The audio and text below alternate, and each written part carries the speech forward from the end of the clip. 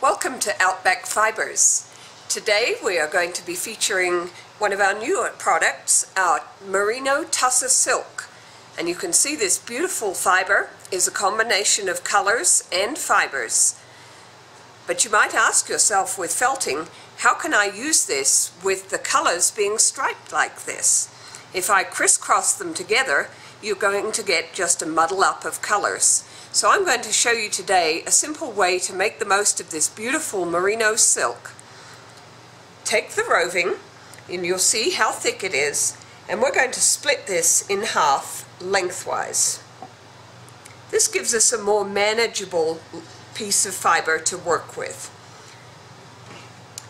So here we are with our half-sized piece of the roving, and instead of using simple layers of fiber, we're going to use for our base our needled pre-felt, and this is in the mallard color. And our merino silk that we're using today is in the Mackenzie.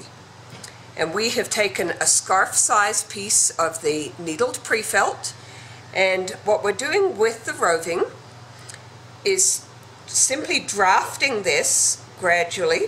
Just lay this down and hold the tips with your fingers and gradually draw slowly and gently.